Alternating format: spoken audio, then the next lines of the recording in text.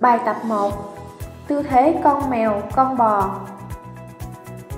Bước 1 Chúng ta ngồi ở tư thế kim cương. Bước 2 Đưa cơ thể về tư thế cái bàn.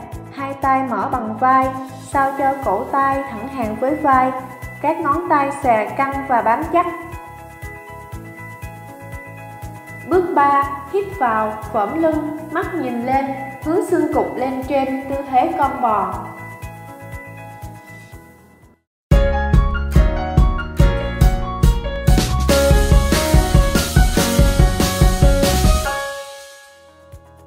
Ở tư thế này, chúng ta giữ từ 15 đến 30 giây, hít thở điều hòa, tập trung ý thức vào vùng ngực, cảm nhận sự kéo giãn cột sống, đặc biệt là vùng thắt lưng. Đồng thời, bài tập còn giúp massage cơ quan tiêu hóa, cải thiện hệ tiêu hóa, giúp thư giãn trí óc, cải thiện việc lưu thông máu. Bước 4. Thở ra, hớp bụng và uốn cong cột sống, đưa cầm sát về cổ, thả lỏng vùng cổ. Tư thế con mèo. Giữ tư thế từ 15 đến 30 giây, hít thở điều hòa, tập trung cảm nhận kéo giãn cột sống, thả lỏng vùng cổ. Chúng ta lặp đi lặp lại bài tập con bò, con mèo này từ 10 đến 20 lần để có tác dụng sâu và chống chỉ định cho những người có vấn đề về cổ.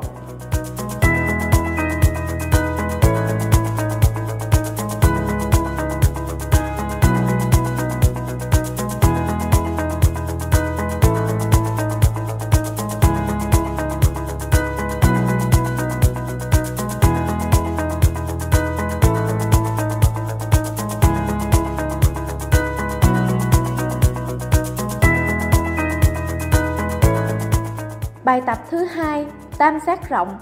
Từ tư thế trái núi, hai chân tách rộng, song song với nhau, khoảng cách hai chân bằng hai lần vai. Trọng lực dùng đều lên hai chân, giữ cột sống thẳng, mở ngực và buông lỏng hai tay xuôi theo thân.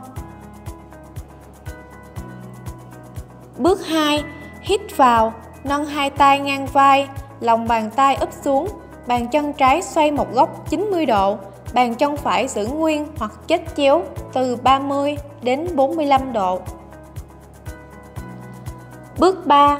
Thở ra, từ từ nghiêng người sang trái, sao cho cột sống luôn thẳng, hai hông cân đối, bàn tay trái chạm sàn hoặc nắm cổ chân trái, mở ngực, mở vai, tay phải hướng lên trên, sao cho hai vai thẳng hàng, thu cầm và xoay cổ, mắt nhìn theo hướng tay phải lưng phải kéo căng, vai trái thả lỏng, hít thở điều hòa, giữ tư thế từ 15 đến 30 giây. Ở bài tập này, người bị thoát vị ở vùng cổ sẽ không tốt, nhưng đối với người có vùng cổ ở trạng thái bình thường, bài tập này sẽ rất tốt cho các cơ ở vùng cổ.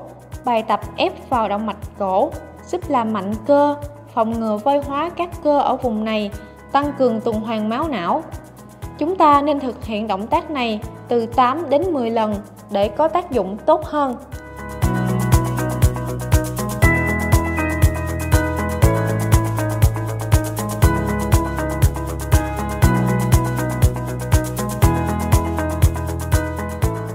Bài tập 3, tư thế sâu kim hay tư thế mèo biến thể.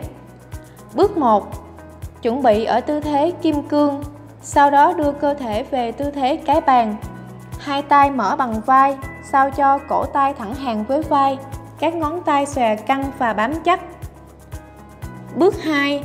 Đưa chân phải về bên phải, thẳng chân, các ngón chân hướng về phía trước. Bước 3. Chậm rãi nâng tay phải lên cao, mở ngực, mở vai, sao cho hai cánh tay thẳng hàng với nhau, hớp nhẹ bụng lại, hít thở điều hòa, giữ tư thế từ 15 đến 30 giây.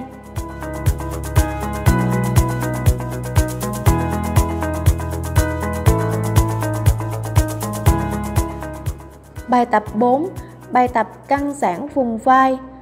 Chuẩn bị ở tư thế nằm ngửa, co hai gối, vươn hai tay qua đầu. Hít vào một hơi thật sâu, nâng hông lên, giữ tư thế, hít thở điều hòa. Thở ra, hạ cơ thể trở về tư thế ban đầu. Chúng ta thực hiện bài tập từ 3 đến 5 lần để nhận được hiệu quả tốt hơn.